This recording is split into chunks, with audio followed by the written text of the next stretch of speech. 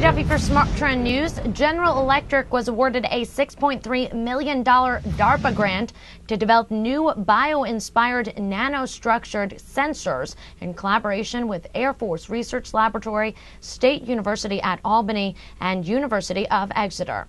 The sensors would enable faster, more selective detection of dangerous warfare agents and explosives.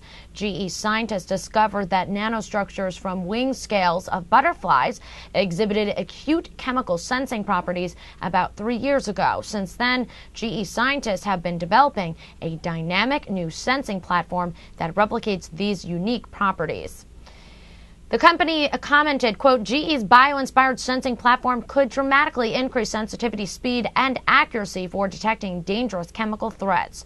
All these factors are critical not only from the standpoint of preventing exposure, but in monitoring an effective medical response if necessary to deal with such threats. I'm Christy Duffy for SmarTrend News. For more news and market analysis, make sure to subscribe to our YouTube channel, Trade the Trend. Also visit our website, tradethetrend.com, for more headlines.